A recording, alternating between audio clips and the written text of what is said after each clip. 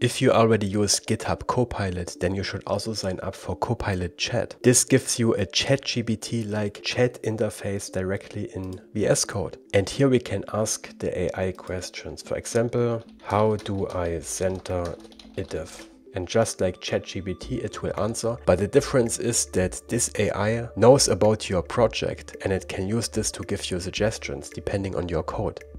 And there we get our answer. To center a div, blah, blah, blah. Let's ask what is wrong with my code. The code you provided is not wrong, obviously, but it is incomplete. Eh? I don't think that's true. Well, it is not perfect yet. It doesn't recognize that this is a Next.js root layout, but nevertheless, it's really helpful. Right now, you have to sign up for a waitlist to get this feature, but it only took one day after signing up in this waitlist until I got accepted. Just search for GitHub Copilot Chat waitlist on Google and you will find this link.